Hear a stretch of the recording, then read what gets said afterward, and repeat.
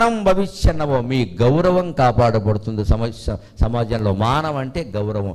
మన ప్రవర్తన బట్టే కదండి మన గౌరవం అనుమానం ఏదైనా ఉందా? మనం బీటెక్లో ఫస్ట్ క్లాస్ రావచ్చు పెద్ద ప్యాకేజీ రావచ్చు అమ్మా. ఒక అమ్మాయిని మోసగించామనుకో మన పేరు రేపు పేపర్లో వస్తే గౌరవం ఏదైనా ఉందా? మొత్తం పై మన గౌరవం కాదు తల్లిదండ్రుల గౌరవం పోయింది. అదో దుర్మార్గుడిని కన్నావరా అనుకుంటున్నారు.